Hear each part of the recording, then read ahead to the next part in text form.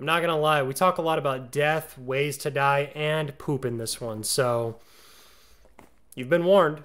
The other night I was laying in bed, contemplating my place in the universe, when a thought popped in my head. Wait a minute. If you poop when you die, then how can you ever actually be buried alive? Oh, yeah. It's all coming together. You'd think such a telltale sign would be a pretty good indicator of death, making it almost impossible to get it wrong. When I began my research, I found the answer wasn't as simple as I thought it'd be. Before we get started, I do want to say I'm not a medical professional by any stretch of the imagination, so if you do have any serious medical questions or concerns, just just call your doctor. So, today we're going to take a look at some of the myths about people pre and post death and see if some of the myths about being buried alive or defecation post death hold any water. Everybody poops. So, let's start the video off with the big one. Do you poop yourself immediately after you die? Is it true? When you die, do you always defecate yourself, or is it just a myth? I don't plan on dragging this out for the entire length of the video, so I'll just say it straight away that no, when you die, you don't always just immediately poop yourself. However, that doesn't mean it's as simple as that. I found an article created by the website todayifoundout.com that interviewed quite a few different doctors, nurses, and morticians. Generally speaking, the percentage likelihood of defecating right before or right after you die is roughly between 20 to 50%, with a few caveats that I'll mention in a minute. To put it bluntly, as of this recording of the video, there hasn't been a scientific study conducted that specifically measures the percentage of times people will defecate right after death. Realistically, and all joking aside, do you really want to be that person that walks up to someone whose grandfather or grandmother's about to pass away and asks them, hey, can I measure if they crap themselves? So, this makes things a little difficult in gathering hard numbers on what the general statistics are in regards to how often this phenomenon actually happens. To quote paramedic and host of the podcast Medical Confessions, Scott Hiskey said, If someone went to the bathroom just prior to death, maybe not.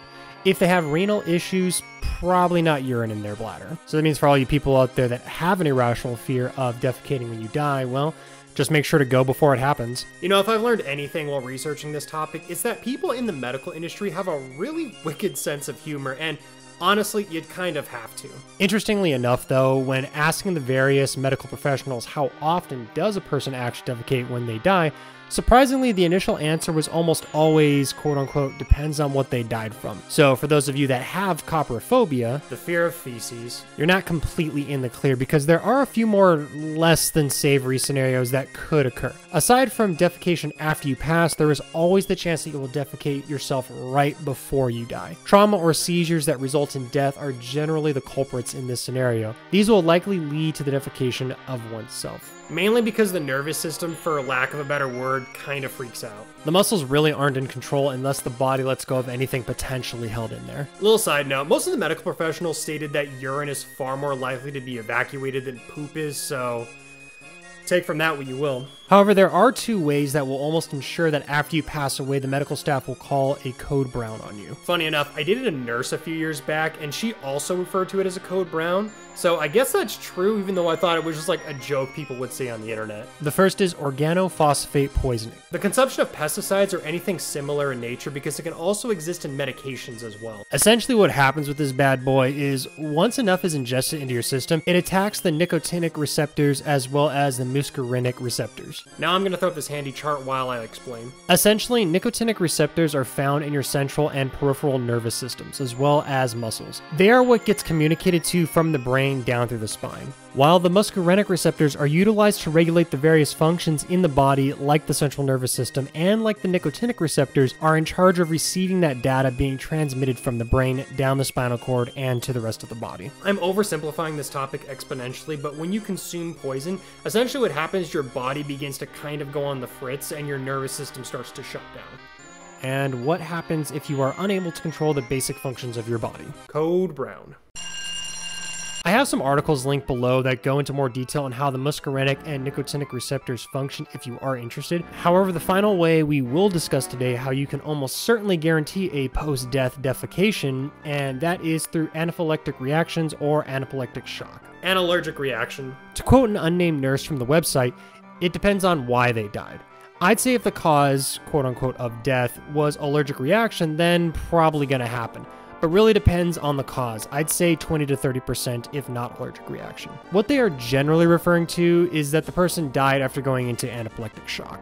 Essentially, your body's immune system creates a bunch of inflammation in an attempt to flush out the allergen, while at the same time flooding and attacking various sectors of your body. This is why adrenaline injections are the first form of defense against anaphylactic shock, as it helps to increase the blood flow in your body in an attempt to reverse the overcompensation from your immune system while it attempts to get rid of the allergen. There are four different grades when it comes to the severity of anaphylactic shock, but really only grade 3 and 4 affect the digestive tracts. As in those grades, the person suffering from anaphylactic shock will experience symptoms like vomiting, diarrhea, bloating, and the urge to have a bowel movement. To poop. Now, I couldn't find an exact reason, but my guess why you're more likely to poop after going through this is it's your body's natural reaction to try and eliminate the allergen from the body as efficiently as possible. All that extra inflammation has to go somewhere, and perhaps the body knows that it does not want this in the system. So, the best course of action would be to flush it out ASAP by pooping. So, long story short, you can still have an accident before or after death, but it depends on the circumstances. Now, let's say you've made it through your hospital stay and you were able to avoid crapping yourself yourself in front of your family. Good job, because that probably ain't gonna be me. You're still not out of the woods yet, as there is still gas buildup inside your body, and that's gotta go somewhere, right? Or what if you made it through all this harrowing shit only to wake up buried alive? Well, the next myth I want to cover is in regards to the gas buildup in the average person, and probably even more crazy is the myth of exploding caskets. Spoiler, it's true. Now, when you pass away, your body is slowly shutting down. It's not a one stop and boom, you're done type of deal. Sure, you are gone, but your body is still changing, and the natural gases built up inside of you are slowly escaping. It's actually not uncommon for quite a few days after death that you'll fart, especially with the coroners moving you around and needing to bend to change your clothes, put you in a casket, etc. The best example I found online was using toothpaste and pushing on it.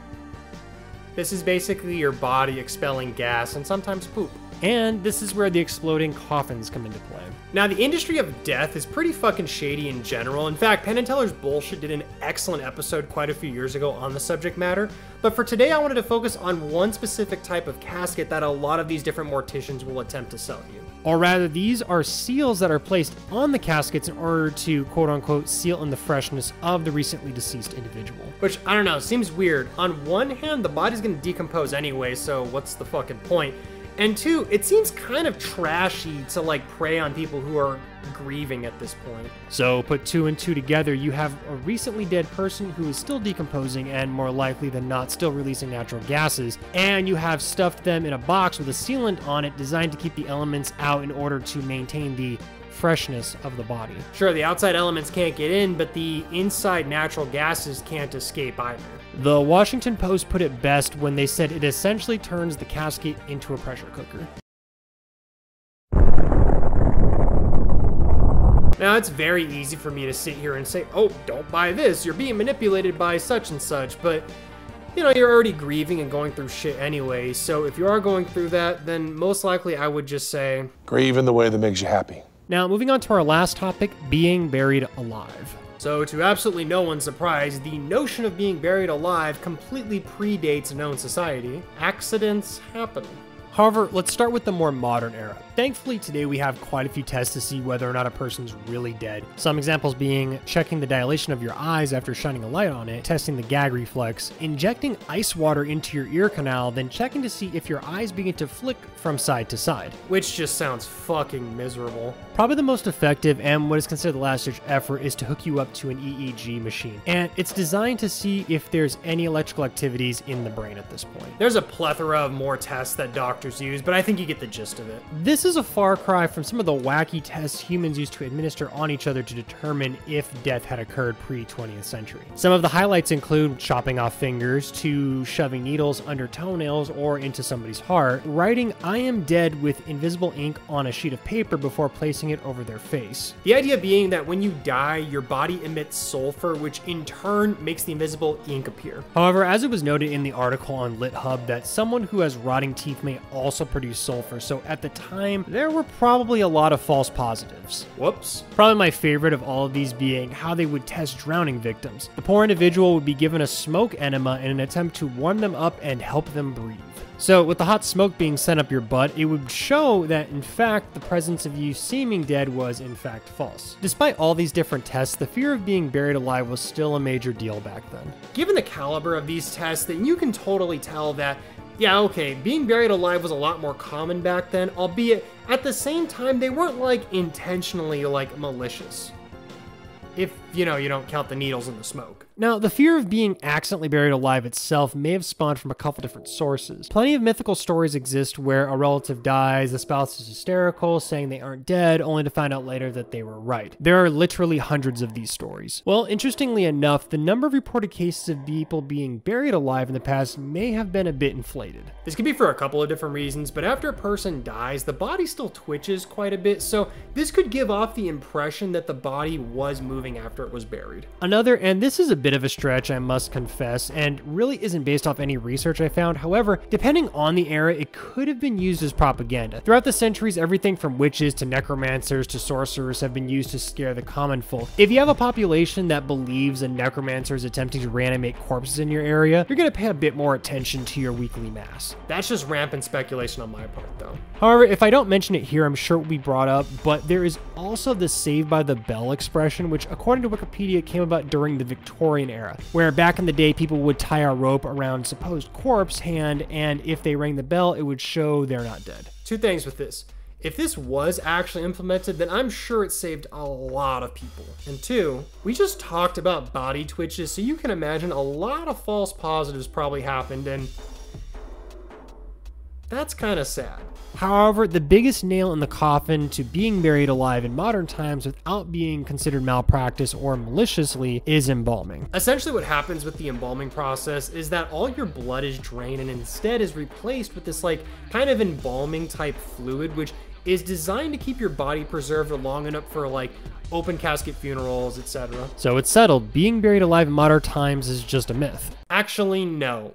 It's surprisingly very true. Many modern cases exist today, like the tragic death of Rosangela Almeida dos Santos, who, after being declared dead, was later found to have been buried alive after people heard screaming coming from her grave spot and finding scratch marks on the coffin once they exhumed the body. Now, this was a couple of years ago, and considering the fact there was never like a follow up report to this particular story, I kind of thought for a moment that it might have been a hoax. Then again, this is a private matter, so short of going to the family and asking, we're probably not going to learn the whole story. However, during this time frame, the doctor who pronounced her dead was also accused of malpractice. And unfortunately, that seems to be the main reason for accidental burials in the modern era. Even the inventor of the security coffin was also said to be dead after the accident was suspiciously hurried along and his quote unquote remains buried. They determined that in fact the man was still alive. I bet you can't guess why he made the security coffin. So the next question that probably crops up is with embalming and other procedures, how is it a person can even get to the coffin without being dead?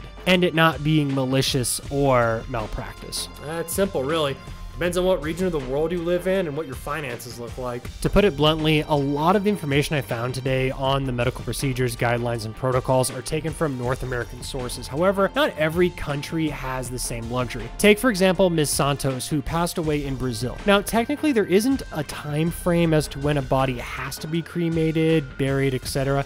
However, traditionally speaking, it is usually buried within 12 hours after death. The only requirement is that the death must be reported within 24 hours in order order to receive a death certificate. Compound this with the fact that foul play was suspected, and it becomes a bit easier to swallow that an accidental death like this could occur. But there's still the issue of embalming procedures. Why wouldn't the embalming get done, especially when embalming happens even if you're going to be cremated? Simply put, the shit's expensive. The average cost for embalming is $500 and up, generally not running more than $1,000. In general, a standard funeral with embalming, casket, funeral, etc. will cost at the very least $7,000. Even the average cremation costs anywhere between $4,000 to $7,000. Not everyone just has that kind of money lying around. I was honestly shocked to see the cost of cremation as well, but there is more to it than simply sticking someone in an oven and being done with it. Now, not every funeral home is is full of sadistic monsters that would give a crappy mechanic a run for their money, but when anyone is in an emotionally vulnerable situation, they'll tend to make dumb purchasing decisions. Hey, do what you want to do, of course, but this is one of the reasons why I'm a pretty big advocate for having like a living will or something along those lines made. And its primarily reason is because it helps to alleviate some of the grief that a lot of your loved ones are going to be going through in an attempt to make you happy after you're gone. There are plenty of other cases in which people are accidentally buried alive. However, statistically speaking, if you live in a more developed country, your chances are pretty slim. Then again, I hear the security coffins have a bathroom and a radio set up in there, so maybe it's worth skipping the embalmment. No, I also thought about covering the whole myth of does your hair and nails keep growing after you die, but honestly, I feel like that's common knowledge at this point, and then I don't want to be too obvious. However, I feel like someone would bring it up if I didn't at least mention it here, as they are widely believed myths. So we come to the end of this little toe dip into the macabre, and it just goes to show you that even though you're expecting one thing, you may find a plethora of different shit you weren't expecting. Now, I didn't cover everything associated with being buried alive, death myths, etc. So if I forgot anything or wanted to add more, feel free to leave me a comment below or reach out to me. Death can be cruel. Sometimes it can be funny, but ultimately, death is death and everyone still poops. Anyway, keep things light and rebellious, and I'll see you guys next time.